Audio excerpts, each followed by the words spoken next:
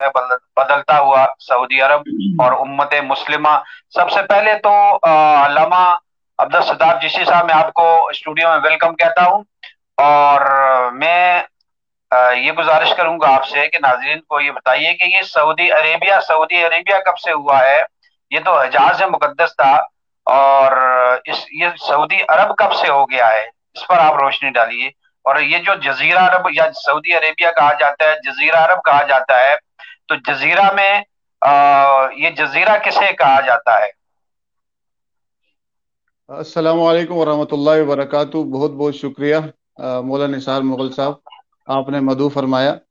आज का जो टॉपिक जो उनवान आपने चुना था मौजू बहस जो है वो बदलता सऊदी अरब और उम्मत मुस्लिमा के हालात वाक़ात सऊदी अरबिया जो आपने सवाल किया कि जजीरा या सऊदी अरब कब से बना, असल ये देखा जाए कि कुछ लफ्ज इस्तेमाल होते हैं। इस तरह हदीस में हमें अल्फाज मिलता है, जजीरतुल अरब का मिलता है। हजू ने फरमाया, अखरजुल यहूद नसारा मिन जजीरतुल अरब। और इसके साथ साथ एक लफ्ज हिजाज का हमें सुनने को मिलता है। और इसके साथ साथ फिर उन्नीस सौ बत्तीस से अलममलिकतुल अरबी या सऊदिया का लफ्ज सुनना हम शुरू करते हैं।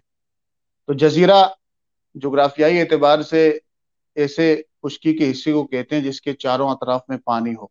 अरब जो है, ये सऊदी अरब, जो अरब है, जजीरतुल अरब, इसको जजीरा नुमाय अरब कहते हैं। यानी इसके तीन, जजीरा नुमाय अरब और जजीरे में फ़र्क ही होता है। जजीरा नुमाय अरब का मतलब यह है कि वो खुशकी का टुकड़ा जिसके तीन हिस्सों में क्या हो, पानी हो और एक हिस्सा उसका किसकी तरफ़ हो, खुशकी की तरफ़ हो। जिस तरह हम, अगर अरब की आप जोग्राफियाई लोकेशन को आप देखें टेरिटरी को आप देखें तो जजीरा अरब के तीन अतराफ में पानी है, बहर अहमर, बहर हिंद बहर अरब और खलीज के कुछ हिस्से लगते हैं, खलीज फारिस और ओमान के, ये तीन हिस्से। और शुमाली, जो चौथी तरफ़ शुमाली तरफ़ है, वो इसका इराक और शाम और उर्दन से इसका सहराई इलाका लगता है, खुशकी का हिस्सा लगता है तो इसी हिसाब से इसको जजीरतुल अरब कहते हैं। एक बात तो ये।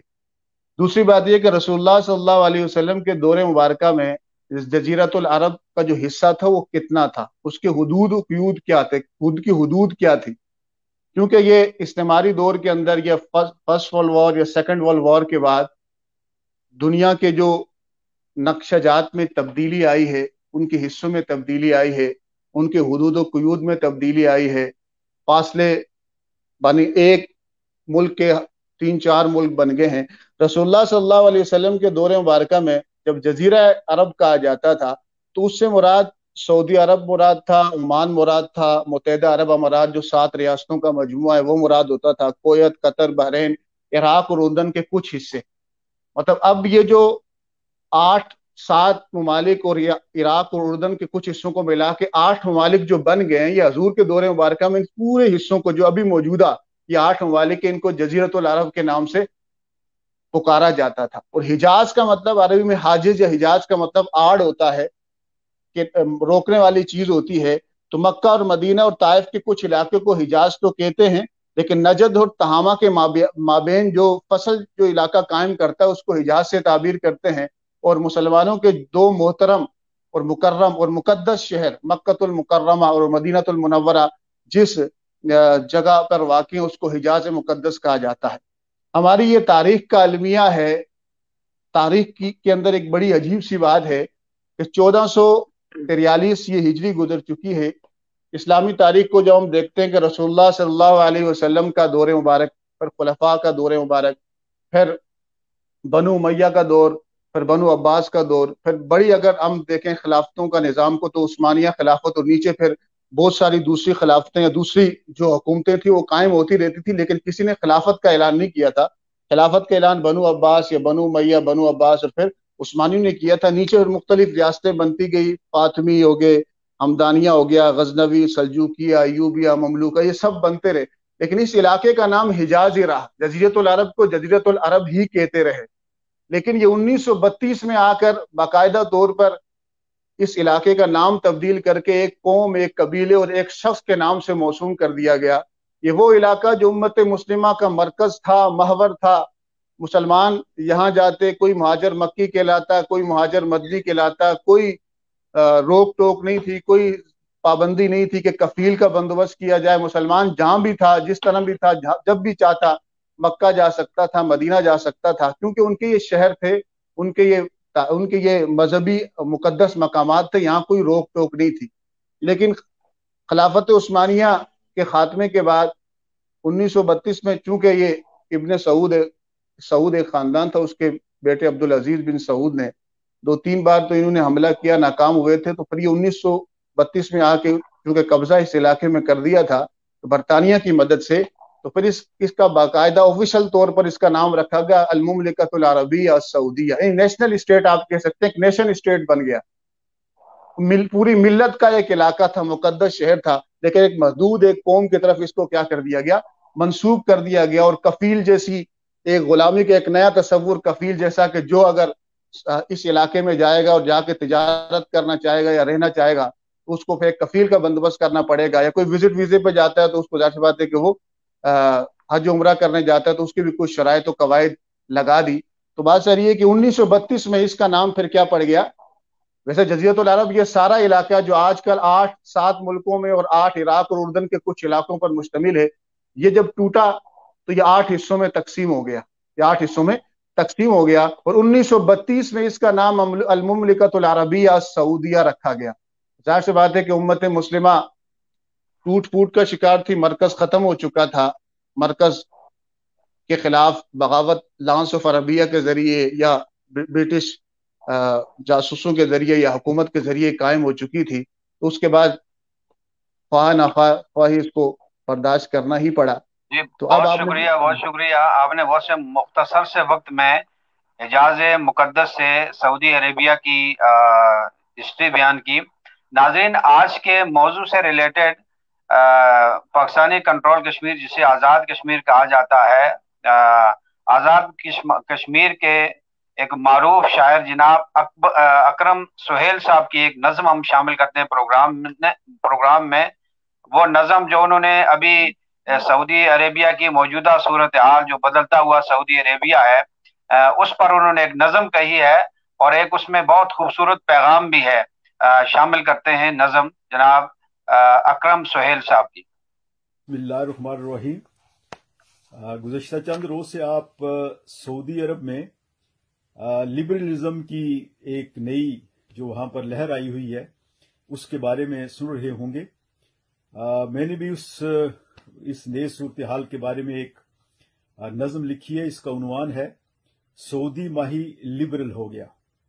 तो आपकी समात की नज़र है कि सानू चंद जिया मुखड़ा वखा के, सानू चंद जिया मुखड़ा वखा के, सानू सो सो पलेखे पा के, सानू चंद जिया मुखड़ा वखा के, सानू सो सो पलेखे पा के, सानू जन्नतां दे टिकट फड़ा के, सानू जन्नतां दे टिकट फड़ा के ਤੇ ਸਊਦੀ ਮਾਹੀ ਲਿਬਰਲ ਹੋ ਗਿਆ। ਸਊਦੀ ਮਾਹੀ ਲਿਬਰਲ ਹੋ ਗਿਆ। ਤੇ ਜਿਸ ਨੂੰ ਜਹਾਦ ਕਿਹਾ, ਅਸੀਂ ਟੁਰ ਪਏ। ਜਿਸ ਨੂੰ ਜਹਾਦ ਕਿਹਾ, ਅਸੀਂ ਟੁਰ ਪਏ। ਬੱਚੇ ਅਸੀਂ ਕਤਲ ਕਰਾਂਦੇ ਰਹੇ। ਬੱਚੇ ਅਸੀਂ ਕਤਲ ਕਰਾਂਦੇ ਰਹੇ। ਸਾਡੇ ਹੱਥਾਂ ਵਿੱਚ ਬੰਮ ਫੜਾ ਕੇ, ਸਾਡੇ ਹੱਥਾਂ ਵਿੱਚ ਬੰਮ ਫੜਾ ਕੇ ਤੇ ਸਊਦੀ ਮਾਹੀ ਲਿਬਰਲ ਹੋ ਗਿਆ। ਤੇ ਸਊਦੀ ਮਾਹੀ ਲਿਬਰਲ ਹੋ ਗਿਆ। ਤੇ ਡਾਲਰਾਂ ਦੀ ਇੱਥੇ ਫੇਰ ਹੋਈ ਬਰਸਾਤ।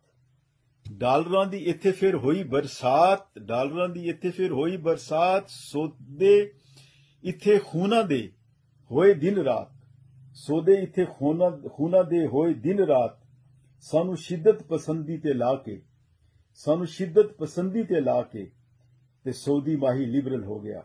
ਸਊਦੀ ਮਾਹੀ ਲਿਬਰਲ ਹੋ ਗਿਆ ਤੇ ਸਿਨੇਮੇ ਵੀ ਖੁੱਲੇ ਉੱਥੇ ਮੈਰਾਥਨ ਹੋਈਆਂ। ਸਿਨੇਮੇ ਵੀ ਖੁੱਲੇ, ਉੱਥੇ ਮੈਰਾਥਨ ਹੋਈਆਂ, ਗੱਡੀਆਂ ਵੀ, ਕੁੜੀਆਂ ਨੇ ਖੂਬ ਚਲਾਈਆਂ।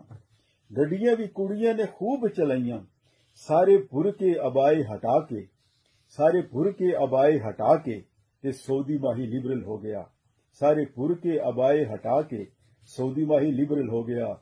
ਸਾਨੂੰ ਚੰਨ ਜਿਆ ਮੁਖੜਾ ਵਿਖਾ ਕੇ, ਸਾਨੂੰ ਸੋ ਸੋ ਭਲੇਖੇ ਪਾ ਕੇ, ਸਾਨੂੰ ਜਨਤਾਂ ਦੇ ਟਿਕਟ ਫੜਾ ਕੇ ਤੇ ਸਊਦੀ ਮਾਹੀ ਲਿਬਰਲ ਹੋ ਗਿਆ। सऊदी माही लिबरल हो गया।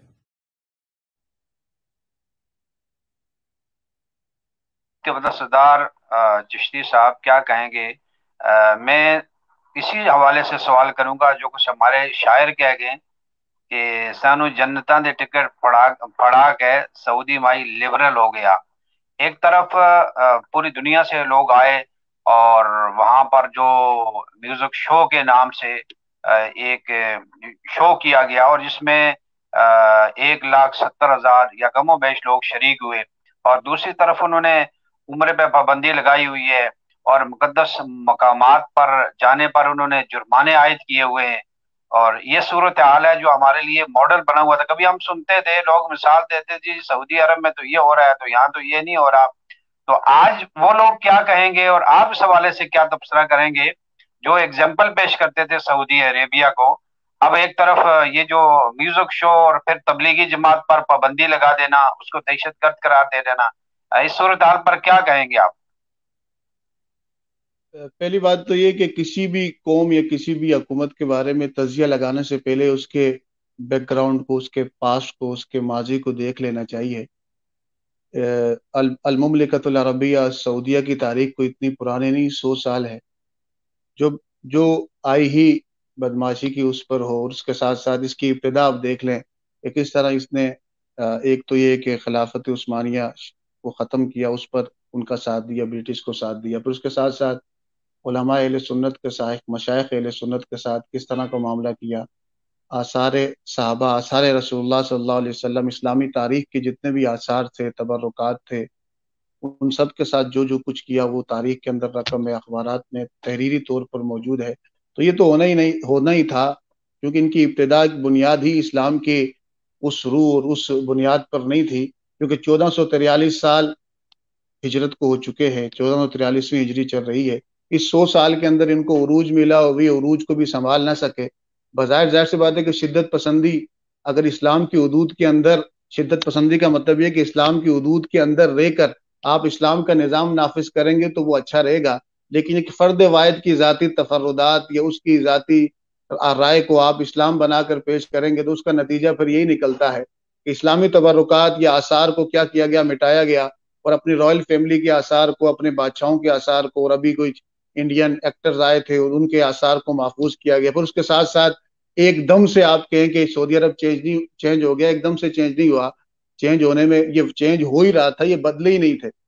आप अंदाज़ा लगाएँ कि जब पेट्रोल निकला तो फिर आरामको कंपनी जहरान दमाम के इलाके में बनी तो वहाँ पूरी एक कॉलोनियाँ बनी थी कि जो एक अमरीकी कॉलोनी थी, उसके अंदर किसी इस्लाम का तो नाम ही नहीं था। अब तो बाकायदा कैसीनो सेंटर बन गए, शराब खाने बन गए कंसर्ट हो गया, उसके अलावा सिनेमा खाने बन गए, बहुत सारी ऐसी चीज़ें बनी।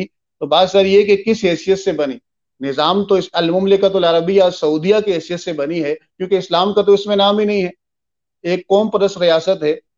मुसलमान उन दो मुकदस जगहों की वजह से इनसे मोहब्बत करते थे। या अपने आप को खादमुल हरमैन शरीफैन तो कहते थे। मुसलमान इस वजह से उनकी इज़्ज़त और एहतराम करते थे। लेकिन हरमैन शरीफैन की इज़्ज़त और एहतराम को पामाल करना और उसके कुर्ब के इलाकों के अंदर इस तरह फाशी और यानी को फरोग देना तो फिर रसूलुल्लाह सल्लल्लाहु अलैहि वसल्लम की इस हदीस का मिजदाक तो बनेंगे कि वही अरब बिन शर एक तरफ़ हलाकत है उन अरब के लिए, उस शर और उस बुराई से जो करीब आ चुकी है। इस हदीस के रावी फरमाते हैं आगे कि आप सल्लल्लाहु मुस्तद इमाम अहमद की हदीस है? फरमाते हैं, हजूर ने यह हदीस बयान फरमाई, फिर आगे फरमाया कि फितना फितन का कत्ल मुस्लिम। अरब के लिए हलाकत है उस शर और उस बुराई से जो करीब आ चुकी है, उस पर फितने अंधेरी रात के टुकड़ों की तरह बरसेंगे वयुमसी काफिरन एक बंदा सुबह मोमिन होगा और शाम को वो काफिर होगा। अगले जो हदीस का हिस्सा है, उसको आप देखें कि यबी कौम दीन हम बिहारदी मिन दुनिया कलील। दुनिया के कलील माल एश इशरत, मता, यूरोप को खुश करना या बजाय मॉडरेट मॉडरेट, मॉडरेशन का नाम या जिद्दत पसंदी का नाम लेकर इस्लामी रिवायात को या इस्लामी तालीमत को पामाल करना, वो भी इस्लाम के ही मरकज में ये बहुत बड़ी ज़रूरत है। रसोल्ला फरमाया कि एक कौम अपने दीन को कलील दुनिया के माल के एवज बेचेगी। हजू ने फरमाया कि उस वक़्त अलमतमसिक बिदीनी कलकाबिद अलजमर अवल शौक हजू ने फरमाया कि अव का मकाल सलाम उस वक़्त उस जगह पर दीन पर कायम रहने वाला इस तरह होगा जैसे अपने हाथ में अंगारे को पकड़ने वाला या अपने हाथ में कांटे को पकड़ने वाला। तो बात सारी ये है कि ये सबको पता है कि ऐसा क्यों हो रहा है। इस, ऐसा इस वजह से हो रहा है कि दीन का वो जाहरी हुसन जो रूहानियत थी, दीन का जो बातिन था जो आप सल्लल्लाहु अलैहि वसल्लम ने हदीस जब्राइल में अखबिरनी अनिल इस्लाम, अखबिरनी अनिल ईमान के बाद जो अखबिरनी अनिल एहसान कहा था, उसका इनकार करने की ये क्या थी? एक सजा भी आप कह लें, और उसके साथ साथ उम्मत मुस्लिमा के जो असलाफ गुजरे हैं, उन पर तकफीर और तदलील के तीर बरसाना और जन्नतुल बकी और जन्नतुल माला की कब्रों को मसमार करना, उनकी बेहरमती करना, ज़ाहिर बात है कि ये सब उसकी सजा या उसका नतीजा है। तो जो शख्स इस्लाम की जो बुनियादी अरकान है, आप सल्लल्लाहु अलैहि वसल्लम की जो आसार हैं, उनकी हिफाजत नहीं कर सकते जो कौम या जो जो मुल्क। तो ज़ाहिर बात है कि उसका नतीजा यही निकलना था वही अरब मिनशर एक तरफ़ का यही नतीजा होगा। फिर आप फिर अल्लाह ताला का ये के, की आयत कुरान मजीद के इसमें रब करीम इरशाद फरमाता है इन लदीन युहिब्बून अन तशी अल्फाइशतु फिल लदीन आमनु लहुम आजाबुन अलीमुन फिद दुनिया वल आखिरा. बेशक वो लोग जो पसंद करते हैं चाहते हैं कि बेहयाई और यानी फैले मोमिनीन में तो अल्लाह फरमाता लहुम आजाबुन अलीम उनके लिए आजाब है और दर्दनाक आजाब है दुनिया में भी और आखरत में भी दुनिया में भी और आखरत में भी। तो बात सारी ये है कि हमें इससे इबरत हासिल करनी चाहिए कि बज़ाहिर अल्लाह ताला की खुफियत, बज़ाहिर तो ऐसा लगता था कि इस्लामी निज़ाम का नफाज है, इस्लाम फल फूल रहा है, कि फाशी और यानी का कोई सोच भी नहीं सकता था। अचानक से इज्तमारी कुतों ने इस तरह का मामला किया कि अब जाके उन्हीं यहूद और यहूदियों से जिनके बारे में हजूर ने फरमाया था कि अखरजुल यहूद व नसारा मिन जजीद जजीरत अरब। जॉर्डन से मदीना तर, की तरफ़ एक बाकायदा सड़क का ऐलान किया जा रहा है, उनको विज़िट करवाया जा रहा है, उनको अपना कज़न कहा जा रहा है कि इब्राहिम की हम औलाद हैं। तो इसी सूरत में आप क्या कर सकते हैं कि जब मरकज के हुक्मरान यानी कौम परस्ती पर आ जाए असबियत पर आ जाए, मरकज की अहमियत को ना समझें, मुसलमानों मुसलमानों के जज्बात को ठेस पहुँचाए, कुरान की बुनियादी तालीमत का इनकार करें तो ऐसी सूरत में हम दुआई कर सकते हैं और रियाती सतह पर एहतजाज कर सकते हैं। ये उम्मत मुस्लिमा के बावन इस्लामी ममालिक उससे जायद जो इस्लामी ममालिक है, उनकी ज़िम्मेदारी है कि वो इस इस पर आवाज़ उठाएँ, उनसे बात करें कि ऐसा ना करें, आप जिम्मेदार हैं। मुकदस मकाम आपकी अमानत में था आप उसके मालिक नहीं है। ज़ाहिर बात है कि ये एक रियासत का काम है, जो इस्लामी रियासतें जितनी भी हैं, जितने भी ममालिक हैं, लेकिन हाय अफसोस कि जितनी भी इस्लामी रियासतें उनके जो हुक्मरान हैं, एलिट क्लास है, उनका इस्लाम के साथ, या निज़ाम इस्लाम के साथ कोई उस तरह का ताल्लुक नहीं जिस तरह का होना चाहिए था। उसकी मेन वजह यह है कि इस्तेमारी दौर में दूसरी जंग अजीम के बाद बज़ाहिर तो हम सियासी गुलामी से पूरी उम्मत मुस्लिम एशिया के, अफ्रीका के ममालिक सियासी गुलामी से तो निकल गए फ्रांस की बरतानिया की, लेकिन उसके साथ साथ सियासी गुलामी से तो हम आज़ाद हो गए, लेकिन फिक्री गुलामी से आज़ाद नहीं हुए। फिक्री इंटेलेक्चुअल इंस्लेवमेंट का हम अब भी अब भी शिकार हैं। ज़ाहिर सी बात है कि एहसास कमतरी का शिकार है, उसकी वजह से इन्फियोरिटी कम्प्लेक्शन का शिकार है। निज़ाम तालीम हमारा एजुकेशनल सिस्टम डुअलिटी पर आ गया। पहले एक ही निज़ाम तालीम था, जिससे इमाम जिससे इमाम राज़ी पैदा हो रहे हैं, उससे इबन हैसम पैदा हो रहे हैं, उससे ख्वाजमी पैदा हो रहे हैं, उससे साइंटिस्ट पैदा हो रहे हैं, तिब के माहरीन पैदा हो रहे हैं, फल्कियात के माहरीन पैदा हो रहे हैं, उलमा पैदा हो रहे हैं, सूफिया पैदा हो रहे हैं मुहदस पैदा हो रहे हैं मुफसर पैदा हो रहे हैं इल्म नाव और बलागत के माहरीन पैदा हो रहे हैं, लोगत के इमाम पैदा हो रहे हैं, किसी एक निज़ाम तालीम से इस्तेमाली कुतों ने सियासी आज़ादी तो दे दी, लेकिन फिक्री गुलाम करके चले गए, एहसास कमतरी का शिकार कर गए, निज़ाम तालीम को तबाह बर्बाद करके डुअलिटी का तस्वुर दे दिया, दो इससे दीनी तालीम अलग, दुनियावी अलग तो उसके साथ साथ निज़ाम मीशत इस्लाम के साथ ऐलान जंग पर कायम है तो सूद पर कायम है। निज़ाम मीशत जो है वो सूद पर कायम है। वर्ल्ड बैंक क्या है? बैंकिंग सिस्टम क्या है? सूद लेते हैं, सूद पे कर्जा लेते हैं, सूद पे कर्जा देते हैं। वर्ल्ड बैंक या इस्लामी निज़ाम यही है, वो माशी निज़ाम जो चल रहा है, जितने भी ममालिक हैं निज़ाम मीशत जो है, जब सूद पर चल रहा हो, फाजनू बिहार रसूली की मिस्ताक हो गया, अल्लाह और उसके रसूल के साथ जब हम ऐलान जंग कर रहे होंगे, माशी मैदान में तो ज़ाहिर सी बात है कि लानत तो बरसेगी। फिर उसके साथ साथ सियासी निज़ाम भी, कहीं शहशाह थे तो कहीं जमहूरियत है, कहीं जमहूरियत के नाम पे ज़ाहिर बात है कि जमहूरियत का नाम तो है, लेकिन करप्शन है बदयांती है। उम्मत का हर फर्द नाला, उम्मत का हर फर्द परेशान भी है कंफ्यूज भी है कि इस्लाम क्या कह रहा है, कुरान क्या कह रहा है। उम्मत मुस्लिमा का तेरह सौ साल, बारह सौ साल उरूज के गुजरे। Rise and fall of the nation होता रहता है। लेकिन ये एक, दो सौ साल या एक सौ साल हमारे जवाल का इतना हम पर हावी हो गया, क्योंकि इस जवाल के अंदर फिर क्या आया? साथ साथ हमारा जो मुखालिफ था उसने साइंस एंड टेक्नोलॉजी हमसे लेकर उसमें तरक्की की। साइंस एंड टेक्नोलॉजी में तरक्की की, इल्म मैदान में तरक्की की और हम जो है, उस मैदान की तरफ़ ना बड़े पीछे रहे। बहसीत मजबूरी की बात कर रहा हूँ। हिंदुस्तान का मामला तो कुछ हो रहा है। यहाँ पर भी इस्तेमाली कुतों का ही मामला था। इस वजह से ये मामला पैदा हुआ। फिर उसके साथ साथ आप इस बात को भी देखें कि फिर यहाँ मज़हब एक तरफ़ और इलाहाद एक तरफ़ इलाहाद भी एक मज़हब बन गया। एथिज्म एक मज़हब बन गया। लिबरलिज्म एक मज़हब बन गया, सेकुलरिज्म एक मज़हब बन गया, रियासत की उसको सपोर्ट हासिल हो गई, रियासत उसको प्रमोट करने लग गई। जब सेकुलरिज्म, लिबरलिज्म को रियासत प्रमोट करने लग जाए तो फिर ज़ाहिर सी बात है कि वो उसी तरह फितना फसाद फैलता है, शक फैलता है, और शक के, की वजह से बहुत सारे फितने फैलते हैं। तो उसके साथ साथ उम्मत मुस्लिमा, अब को अब सोचना पड़ेगा, अब सोचना पड़ेगा अब ये सोचना पड़ेगा कि उन्हें मिल बैठ कर काम करना पड़ेगा या कोई इंफरादी काम करें या इज्तमाही काम करें, लेकिन भरपूर काम करें कि जो प्रॉब्लम है उनको सोल्व करने के लिए क्या किया जाए? काम किया जाए। बाकी जो कुछ हुआ म्यूजिकल कंसर्ट हुए कैसीनो खोले गए, ये ज़ाहिर सी बात है कि सबको पता है क्यों हुआ वो बबांगे, दोहल कह रहे हैं, वो किसी से उनको शर्म नहीं, कोई हया नहीं, वो कह रहे हैं कि हम ठीक कह रहे हैं। तो वजह क्या है कि उसको पहले भी सही समझते थे अब भी सही समझते थे।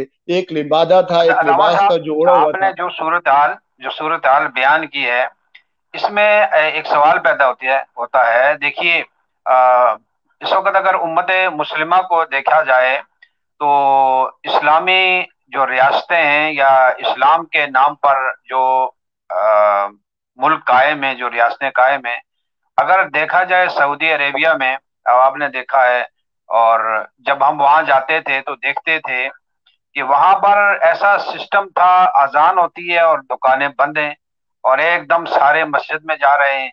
इसी तरह वहाँ पर जो जिसको सजाए मौत दी जाती है, सरेआम उसको फांसी दी जाती थी, चोर के हाथ काटे जाते थे।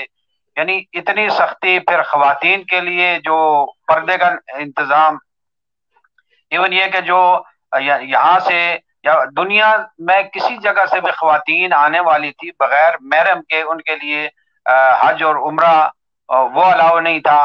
तो ये सारी जो तरबियत थी, देखा जाए एक तरीके से ना तरबियत ऐसा ही होती है कि सिस्टम जो हम कहते हैं कि इकतदार के ज़रिए कंट्रोल किया जाता है। तो इतने सालों से, तकरीबन एक सदी के करीब से ये सिस्टम रहा है। इतनी पाबंदी रही, पर्दे की और नमाजों की पाबंदी और सजाएँ दी गई।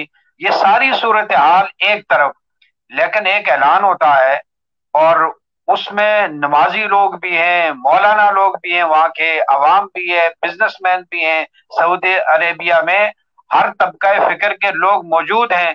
तो जब ऐलान होता है, ये सब कुछ वहाँ पर हो रहा है तो वहाँ सऊदी अरेबिया में कोई भी ऐसा आदमी नहीं जिसके अंदर ईमान की चिंगारी निकले। कोई आलम दीन, कोई मौलाना, कोई मजहबी आदमी, कोई भी ऐसा वहाँ पर नहीं है जो एहतजाज करे जिसने कोई इसके खिलाफ आवाज़ भी बुलंद की हो। इस तरह का कोई नज़र नहीं आया। यानी ऐलान हुआ है, सब कुछ हो रहा है और उसको खुशी से कबूल किए हुए। कैसा मुमकिन हो गया ये? इस तरह के सख्त सिस्टम के अंदर ऐसी आज़ादी एकदम और सब फ्री स्टाइल हो गया। मौलाना साहब, इसको इसको दो, इस, दो तरह से हम इस बात को समझ सकते हैं जो आपने सवाल किया। एक तो ये कि, ये कहना कि अलबमलिकतुल अरबिया सऊदिया के अंदर इस्लामी निज़ाम अपने आइडियल सिचुएशन में नाफिज था। ऐसा नहीं है। 1932 के बाद दो दीन के पार्टीशन किए गए, एक सियासी, एक मजहबी। मजहबी उहदों पर सिर्फ़ आल शेख को रखा जाता था और सियासी अहदे ज़ाहिर सी बात है कि शनशाही एक निज़ाम था इस्लाम का कोई शुराई या खिलाफत का निज़ाम नहीं था जिसमें जो है मेरिट पर या एलियत पर किसी का नफाज हो। एक ख़ानदान की हुकूमत थी सियासत पर एक ख़ानदान की हुकूमत थी मज़हब के मामला पर। किसी दूसरे आलम दीन को वहाँ इंटरफेरेंस करने की उस तरह क्या थी? आ, उस तरह उसको उसको अप्रोच भी नहीं थी और ना ही उसके अंदर इतनी उसको अप्रोच दी गई थी। एक बात तो ये। और दूसरी बात ये कि ये हो रहा होगा, उलमा सुन्नत तो वहाँ मौजूद है, बाज़ार, लेकिन जरा इबलाग पर उनका कंट्रोल है। वहाँ की मीडिया उनके बिल्कुल कंट्रोल में है। कोई एहतजाज करेगा भी, ज़ाहिर सी बात है कि एहतजाज तो गैर, उस सऊदी अरब से अलग जितने भी इस्लामी मालिक के उलमा तो कर रहे हैं। बहसीत मजमू किसी रियासत ने, रियासत के अहदेदार ने इस पर एहतजाज नहीं किया। क्यों नहीं किया? अब रियासत जानती है, क्योंकि अब ये, वो एक मरकज की हैसियत नहीं रही। पहले एक मरकज होता था, अब बावन से ज़्यादा ममालिक हैं, बावन से ज़्यादा अमीरुलमोमिन है, बावन से ज़्यादा हकूमतें हैं तो हर एक का अपना ज़ाती मफाद है, हर एक अपने मफाद को सामने रखकर सोचता है, एक बात तो फिर दूसरी बात ये कि एक होता है इस्लामी रियासत और एक होता है मुसलमानों की रियासत।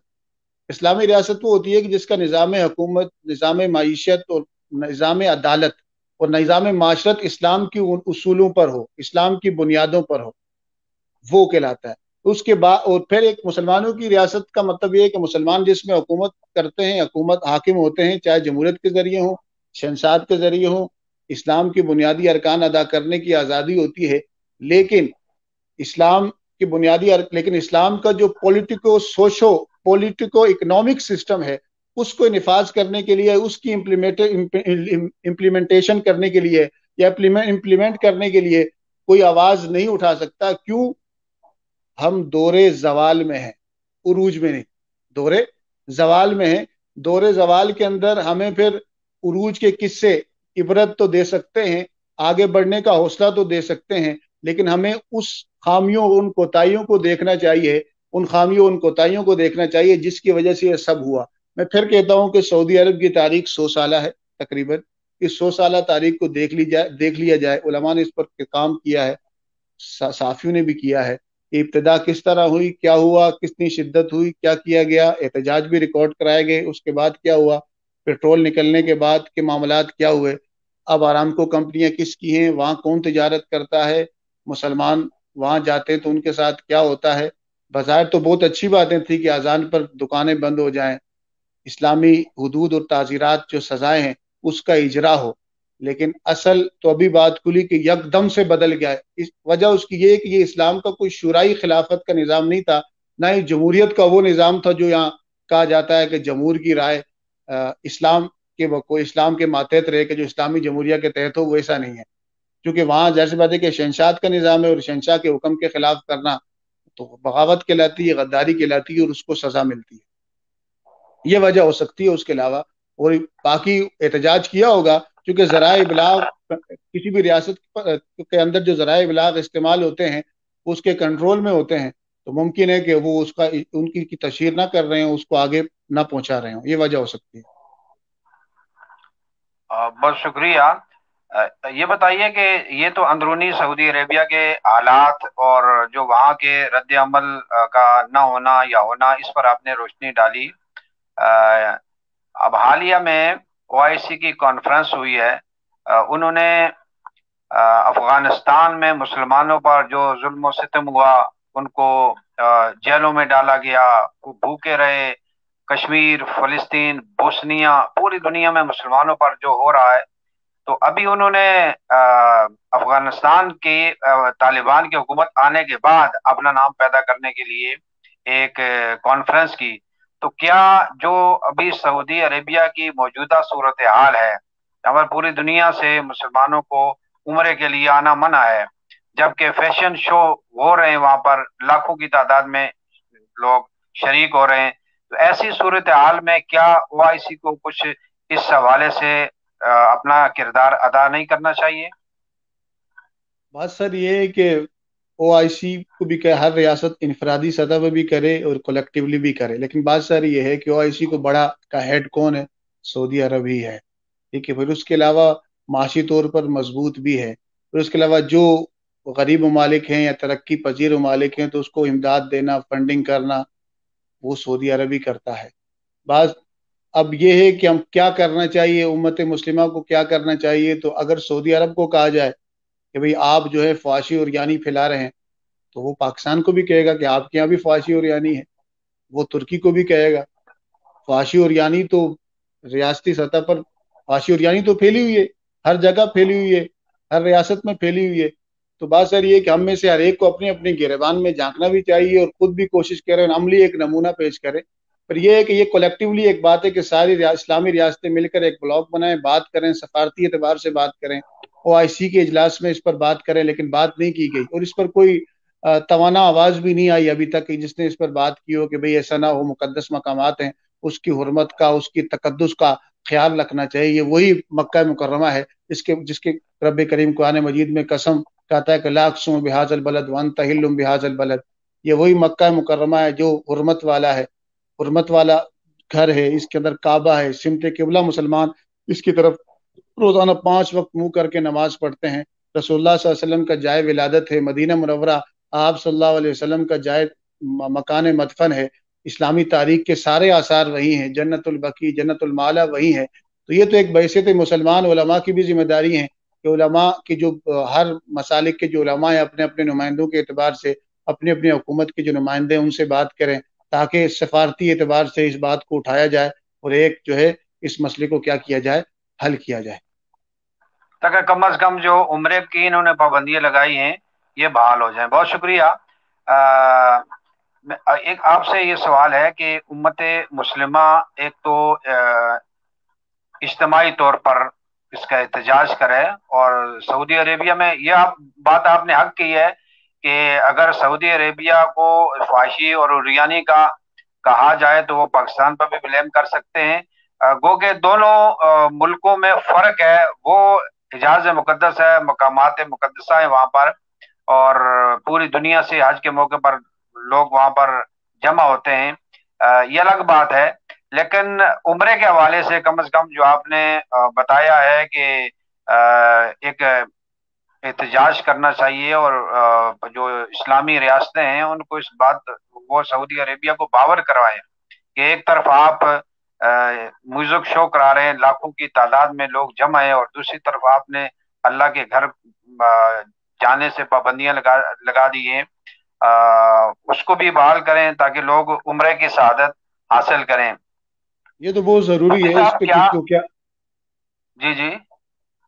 मैंने कहा ये तो ज़रूरी है ये तो ज़ाहिर सी बात है कि एक रियासत दूसरी रियासत से बात कर सकती है। और दूसरी बात ये आपने वजह फरमाया, मैं उस, मैंने भी उस पर बात की थी कि मुकदस मकाम हैं, उसकी हरमत, उसका तकदस ज़्यादा है बनस्बत दूसरे इलाकों के। तो हर मुसलमान का, हर ईमान वाले का इस पर दिल जल रहा है ऐसा क्यों हुआ? मक्का और मदीना के करीब या उसके कुर्दुपुर जवार के इलाकों में इस तरह की फाशी और उरियानी का सैलाब आ जाना हर एक के लिए लम्हा फिक्रिया है कि फाशी और उरियानी और इस तरह लिबरलिज्म या सेकुलरिज्म की फ़िक्र और सोच और नज़रिया हमारे मुकदस मकाम तक पहुँच गया, जिसको हम महफूज समझते थे। और उसके साथ साथ एक बात और भी है कि आप सल्लल्लाहु अलैहि वसल्लम ने भी इरशाद फरमाया था कि अखरजुल मुशरकिन मिन जजीरत अरब। मुशरकों को जजीरा अरब से निकालो और मुतहदा अरब अमारात भी जजीरा अरब में शामिल होता है। यहाँ बाकायदा तौर पर मंदिर बनाए गए, ये भी एक गलत चीज़ है और आप सल्लल्लाहु अलैहि वसल्लम की तालीमत से इनराफ है। फिर इसके साथ आप ने यह भी इशाद फरमाया था कि लातरकु बजजीरत अरबी दीनान। जजीरा अरब में सिर्फ़ एक ही दीन रहेगा, वो दीन हक, दीन इस्लाम है। अब इस तरह इनफरादी तौर पर किसी मज़हब का बंदा जजीरा अरब का जो इलाका है, उसमें रह सकता है, लेकिन बाकायदा तौर पर उनकी इबादत गाहें बनाकर उनको ला के बसाना और उनको प्रमोट करना, ये किसी भी तरह इस्लामी तालीमत के मुवाफिक और मुताबिक नहीं है, बल्कि सरासर खिलाफ है। उम्मत मुस्लिमा के जो अहबाब हैं असाब फ़िक्र अहबाब है साहब इकतदार अहबाब हैं कुत एक वाले अहबाब हैं, उनको चाहिए कि वह अपनी अपनी बसात के मुताबिक इसमें क्या करें, कोशिश करें, ताकि ये फितना और ये आजमाइश यहीं ख़त्म हो और उम्मत मुस्लिमा के अफराद जो हैं, सुकून का सांस ले सकें। हजूर अक्रम सल्लल्लाहु ने फरमाया को इनको निकालो वहाँ से। जिनको आज वहाँ पर वो लोग हो सकता है अपनी पुरानी रिश्तेदारियों को याद कर रहे हैं उनको आबाद करने की उनको बुलाने की कोशिश कर रहे हैं। मौलाना साहब ये आप इस हदीस को भी दे सकते हैं ना वो हदीस जिब्राइल सारी हदीसों का खुलासा जिस तरह पूरे कुरान का खुलासा मौजू के अतबार से टॉपिक के अतबार से सूरत फातिहा है इस तरह जुमला हदीस का खुलासा उलमा बयान करते हैं कि वह हदीस जिब्राइल है। और हदीस जिब्राइल में जो सवाल हुए थे अकबर ने अनिल ईमान पहला सवाल था ईमान के बारे में जबरील अमीन सारी सूरत में आए हजूर से सवाल कर रहे हैं। और आप सल्लल्लाहु अलैहि वसल्लम ने seven cardinal article of faith जो थे, आप सल्लल्लाहु अलैहि वसल्लम ने बयान फरमाया तू मिन बिल्लाहि व मलाइकती ये बयान फरमाया। फिर अगला फरमाया, अखबिर ने अनिल इस्लाम तो आप सल्लल्लाहु अलैहि वसल्लम ने इस्लाम के जो पाँच बुनियादी अरकान थे, शहादतेन, नमाज़, रोज़ा, ज़क़़त, हज, इसका तस्करा फरमाया। फिर तीसरा सवाल था, अखबिर ने अनिल एहसान एहसान क्या है? तो हजूर वसल्लम ने इशाद फरमाया था कि अंताबुल्ला का तराहू फ़ैलम तकुन तराउ फ़ैन यरा इबादत इस तरह की जाए गोया कि तुम तुम अल्लाह को देख रहे हो, अगर इस तरह ना कर सको तो ये तस्वुर ज़रूर रखो कि अल्लाह तुम्हें देख रहा है। तो उसके बाद जो चौथा सवाल था अखबीर ने अनिसा क्यामत के बारे में। तो आप सल्लल्लाहु अलैहि वसल्लम ने कहा था कि साइल और मसूल इस बारे में मुआफिक इल्म रखते हैं। तो आगे उन्हें सवाल किया था कि यारसोल्ला क्यामत की निशानियाँ बता दें। उन निशानियों में एक तो ये था ना कि अंतली दलामत तो रब बता कि बांदी अपने आका को जनेगी। और फिर उसके बाद आगे ये भी था कि अंतरा अल हुफाता वल औराता रिया शाही यदता वलून फिल बुनियान कि तुम नंगे बदन नंगे पाँव नंगे बदन और गरीब और मुफलिस और बकरियाँ चराने वालों को देखोगे कि वो मालो दौलत वाले हो जाएँगे यदता तावलून फिल बुनियान और फिर वो क्या करेंगे बड़ी बड़ी इमारतें बनाकर उस पर खुशी और फखर का इजहार करेंगे ये तो हमारी आप देखें ना कि मक्का के इर्द गिर्द जो हरम है, हरम मक्का के इर्द जो बड़े बड़े होटल बने वो ईसाई तर्ज के बने कदीम कल, ईसाई तर्ज के बने और हरम उसके अंदर क्या हो गया है? छुप गया उसी तरह की घंटियाँ लगी हैं, वो सारा कुछ हुआ है। तो आप वसल्लम की ये हदीस कि तुम देखोगे, क्यामत की एक निशानी क्या है? कि तुम देखोगे कि अंतराल हुफात हुफात कहते हैं नंगे पाँव, वल औरात, नंगे बदन वाले, रिया अशाई बकरियाँ चराने वाले या ततावलून फिल बुनियान बड़ी बड़े बुर्ज और इमारतें बनाकर उस पर फख्र करेंगे, फख्र का इजहार करेंगे, अपने आप को बड़ा कहेंगे। तो इसको भी हमें देखना चाहिए कि आजकल ये भी उस हमारे जजीरतुल अरब के ममालिक के अंदर ये ये भी उनके दरमियान एक बात चलती है कि भाई बड़ी से बड़ा बुर्ज किसका होगा, बड़ी से बड़ी इमारत कौन बनाएगा? इसका भी मुकाबला चलता है और Guinness book of world record में वो लिखवाया जाता है। तो ये भी आप देखें कि ये क्या क्या हम इस बात की आप सल्लल्लाहु अलैहि वसल्लम की बिशारत पूरी तो नहीं हो रही? जो आपने आप ने ये खबर दी थी, कितनों के मौके पर ऐसा होगा तो क्या वो पूरी तो नहीं हो रही? बाज़ार तो ऐसा ही लग रहा है। अलामतें तो यही बता रही हैं कि इसी की बात हो रही थी। अच्छा अलावा अब्दुल चिश्ती साहब, एक बहुत ही अहम सवाल की तरफ़ मैं जा रहा हूँ। हम तो वैसे इसको मैार पहले भी नहीं समझते थे कि जो खाना काबा का इमाम होगा या जो बैतुल मकसद के मुतवली होंगे या जो हरम शरीफ में, हरमैन शरीफैन की जो कमेटी हो गई, मुतवली हो गई, हक और बादल का मैार हम इसको नहीं समझते। हक और बादल का मैार तो किताब सुनना है। अल्लामा तारक जमील साहब एक सवाल के जवाब में बड़े रो रो कर कहते थे, जब कुछ वहाँ के सऊदी अरेबिया में कुछ खिलाफ शरा बातों को आइडेंटिफाई किया गया और वो अलामा तारक जमील साहब वो रो रो कर उसका जवाब दे रहे थे, कह रहे थे कि मेरा अल्लाह इतना कमज़ोर नहीं है। जो वहाँ पर ऐसे लोगों को ले आए जो सही नहीं है। तो अब सूरत सूरत हाल क्या हो सकती है कि जब वहाँ वालों, वो लोग जो हमें वहाँ का एग्ज़ाम्पल देते थे, देखो जी, वहाँ पर ये हो रहा है, यहाँ पर ये नहीं हो रहा, वहाँ पर वो नहीं हो रहा, यहाँ पर ये हो रहा है। तो अब जब उन्होंने पूरे पूरे मुल्क में वो खुतबे देकर भेजा था और ऑर्डर किया था भी सब जगहों पे ये खुतबा पढ़ा जाए, तबलीग जमात वाले, ये मुशरक हैं, बिदती हैं और ये दहशत गर्द हैं। ये सही नहीं है। तो क्या कहेंगे इस हवाले से? हमारे लिए मैार हक का मैार क्या होना चाहिए नाजरीन के लिए?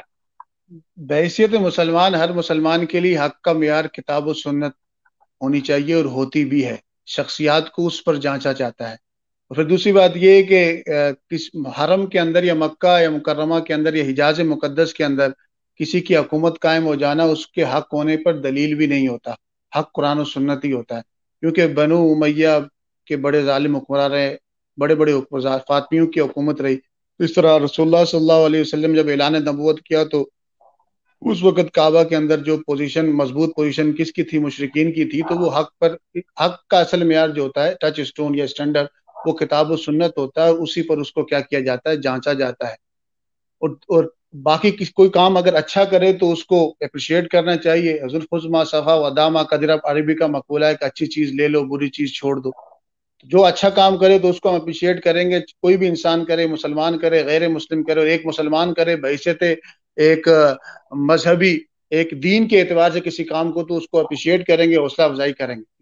बाकी जहाँ तक तबलीगी जमात पर उन्होंने वो किया, वो लगाया, ये, उन पर पाबंदी लगाई है, उनके बारे में कहा कि वो मुशरक हैं, वो ये हैं।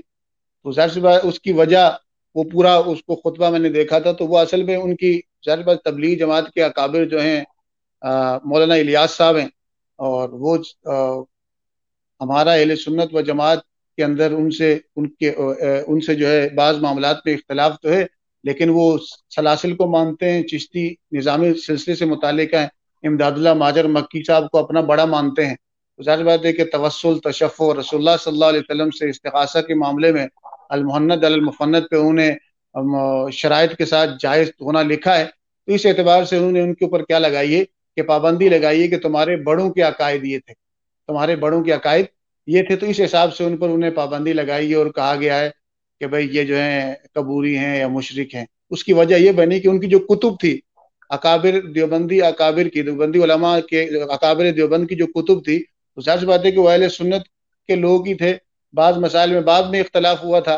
तो तो उस वजह से उन कुतुब को म्यार बनाकर इन पर क्या लगाया गया है? वही सारे इल्ज़ाम लगाए गए हैं।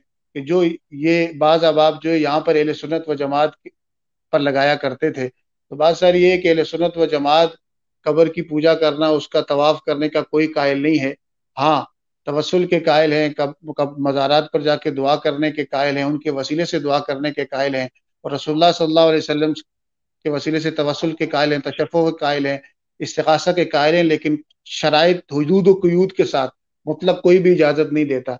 असल बात सारी ये कि किसी भी चीज़ पर जब शिद्दत होगी, अपनी ज़ाती राय को आप शरीयत बना लेंगे, कुरान और सुन्नत बना लेंगे तो उसका नतीजा यही निकलेगा। फिर एक बात और भी याद रखनी चाहिए कि बाद अब आपको हम सुनते हैं कि देखो भाई, मक्का और मदीना में उनकी हुकूमत है तो वह में तो बात सारी ये है कि चौदह सौ साल तक, तेरह सौ साल तक यहाँ पर भी हमदी ताला हुक्मरा रहे, मुसलमान हुक्मरान रहे, सुन्नी हुक्मरान रहे खिलाफत उस्मानी भी काफ़ी सदियों तक चली है। तो यहाँ कोई शिर को बिदत नहीं हुआ, उलमा कराम मौजूद थे। कुछ बता दें, किसी किताब में, तारीख की किताब में अगर लिखा हो कि हरम मक्का के अंदर या मदीना मुनवरा के अंदर कब्र रसूल को पूजा गया हो या रसुल्ला सल्लल्लाहु अलैहि वसल्लम की कब्र की तरफ़ मुँह करके नमाज़ पढ़ी गई हो, कोई भी मुसलमान ये सोच भी नहीं सकता क्योंकि रसुल्ला सल्लल्लाहु अलैहि वसल्लम की ताजीम और तोकीर मोहब्बत तो करता है, लेकिन आप सल्लल्लाहु अलैहि वसल्लम की वो इबादत नहीं करता क्योंकि आप वसल्लम ने ही इससे मना किया है।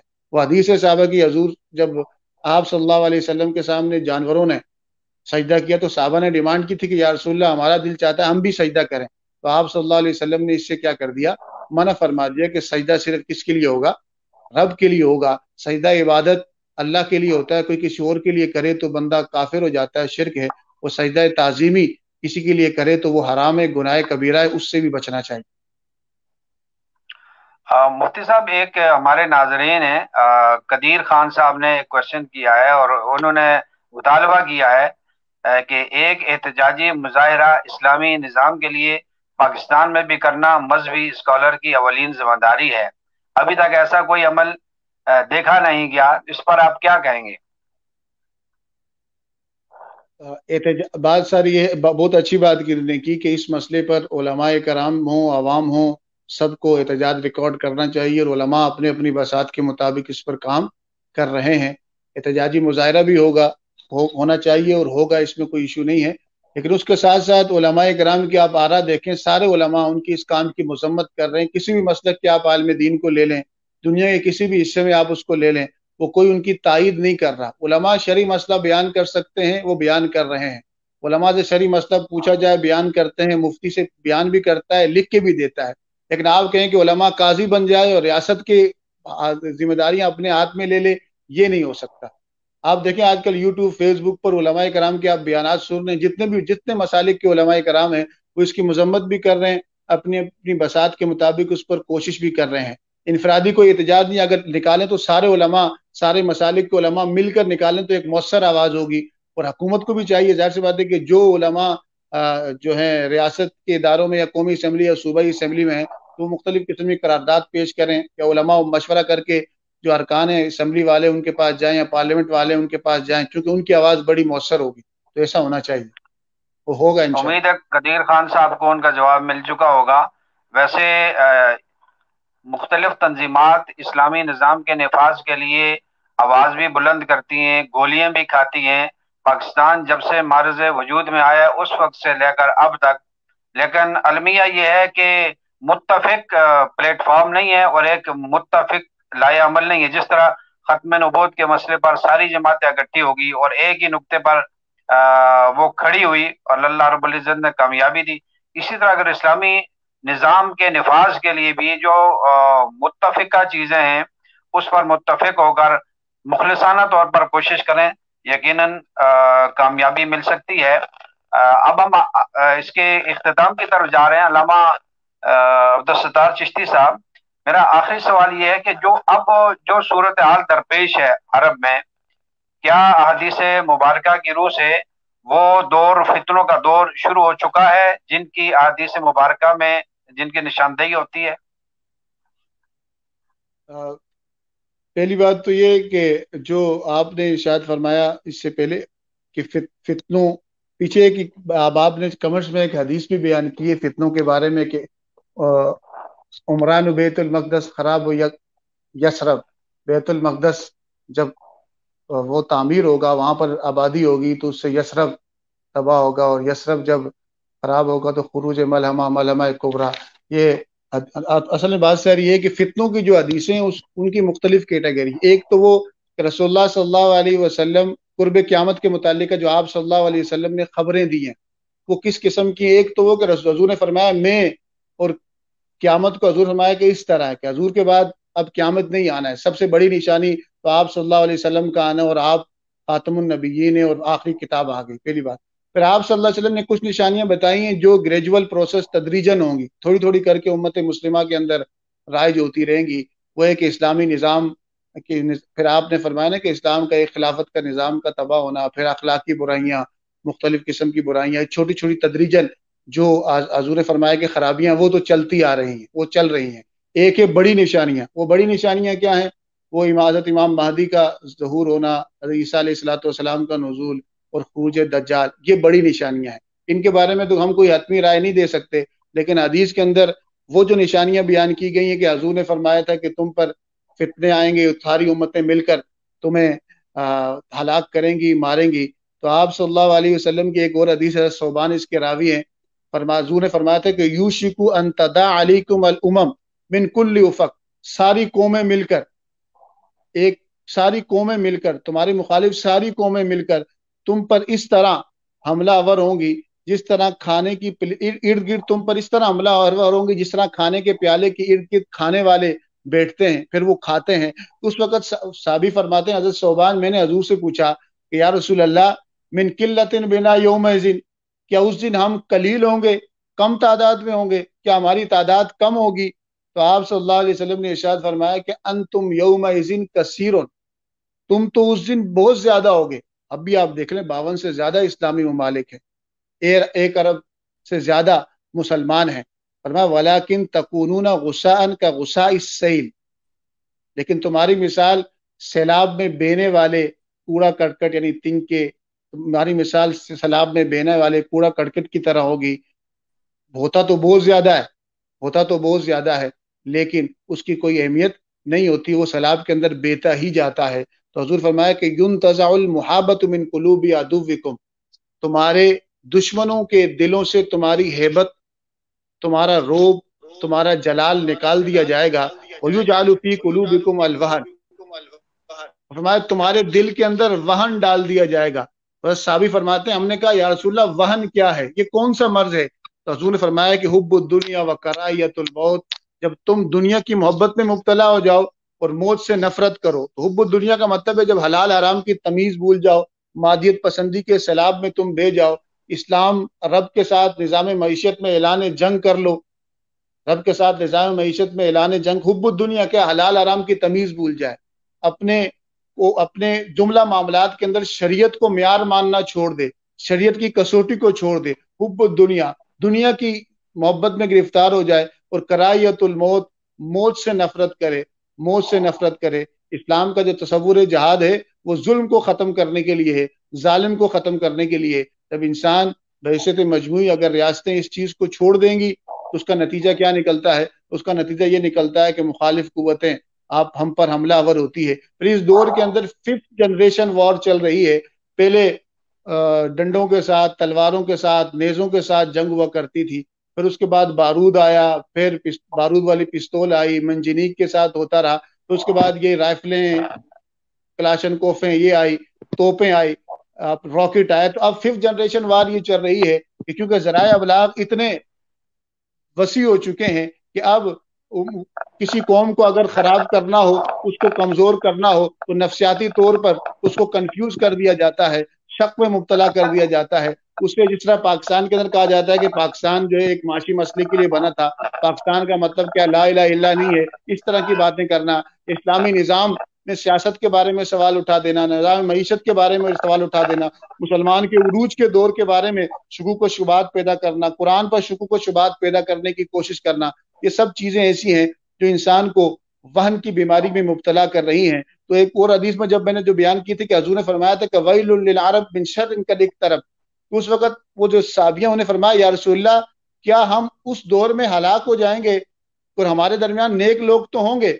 तो हजूर ने फरमाया कि जब नेक लोग कम हो इजाकतबुस और जब बुरे बुराई ज़्यादा हो जाए, बुरे लोग ज़्यादा हो जाए तो नेक लोग भी उसमें क्या जाएँगे? पीछे जाएँगे। तो इसको इस तरह देखा जाए। तो सारी उम्मतें यूनाइटेड नेशन या नेटो, जितनी भी है वो मिलकर किस तरह मुसलमानों पर हमला किया गया, इराक, शाम, यमन को आप देख लें, मिसर, अब लिबिया की हालत देख लें, फिर उसके बाद अभी अफ़गानिस्तान का मामला बर्मा के मुसलमानों का आपने मामला देखा कश्मीर का आप देखे मसला कोई नाम ही नहीं ले रहा वो इंसान ही नहीं है। और फिर दूसरी बात पाकिस्तानी निज़ाम जो आइन है और पाकिस्तान का है तो पाकिस्तान का आइन इस्लामी लेकिन इसकी निफाज का मसला है। फिर उसके साथ साथ इसमें ये इशू भी है कि जहाँ इसमें करारदाद मकासद शामिल किया गया है वहाँ पर इसके अंदर ह्यूमन राइट्स की जो ती, तीस शिके हैं आर्टिकल्स हैं उसको भी उसका हिस्सा बना दिया गया। ह्यूमन राइट्स की ती, जो तीस शिके उसमें कुछ शिके ऐसी हैं आर्टिकल्स ऐसे हैं जो कुरान सुन्नत के मुनाफी हैं, कुरान सुन्नत के खिलाफ है, ज़ाहिर सी बात है कुरान सुन्नत उनकी तायद नहीं करता या उनकी उनकी तावील मुकैद रखता है उसको। इस वजह से जो है ये डुअलिटी का कन्फ्यूज़न का शिकार हो जाते हैं। पर यह है कि हर बंदा अपनी अपनी बसात के मुताबिक कोशिश करे, हर शोबा ज़िंदगी वाले अपने दायरे कार में कोशिश करें। जिस तरह आपका जमान टीवी है, खुर्शीद जमान साहब है, आप हैं अपने अपने दायरे कार में, सबसे मौसर ज़रिया है अबलाग का, ये जो मीडिया है, क्योंकि इस पर उमी तौर पर अक्सरियत में वो आबाब जरा अबलाग के जो असल मराकज हैं, असल जो जिनके पास इसकी पावर है, वो दूसरे लोग हैं, मुखालिफ लोग हैं तो ज़ाहिर सी बात है कि वो मौसर पैगाम अगर हम पहुँचा सकते हैं अपनी बसात के मुताबिक तो ये भी एक ज़रिया है ज़रा अबलाग का, सोशल मीडिया का कि बंदा इस्लाम का पैगाम, दीन का पैगाम और ख़ासकर फ़िक्री मसाइल फ़िक्री मसाइल या उम्मत मुस्लिमा की अजमत रफ्ता वो अजमत जो गुजर की दौरे उरूज की बातें कुरान मजीद का ये पैगाम के कुन तुम खैर उम्मा उखरजत लिन्नास तमरून बिलमारूफी व तनहून अनिल मुनकर व तू मिनून बिल्ला कुरान का ये पैगाम के वला तहीनु वला तहजून वन तुम रब फरमाता कुन तुम खैर उम्मा you are the best nation तुम तो बेहतरीन उम्मत उखरजत लिन्नास तुम्हारा मकसद इज्तमाहीत की फलाह है इज्तमाहीत को फलाह देना है पूरे माशरे को फलाह देना है पूरी दुनिया को फलाह देना है उखरजत नास तुम्हें लोगों के लिए निकाला गया है। तामरून बिल मारूफी व तनहून अनिल मुनकर। तुम अच्छाई का हुक्म देते हो, बुराई से रोकते हो तू मिनून बिल्ला और अल्लाह पर ईमान रखते हो। और अल्लामा इकबाल ने क्या खूबसूरत बात की थी? वो मुआज़ थे ज़माने में, मुसलमान होकर, और तुम ख्वार हुए तारिक कुरान होकर।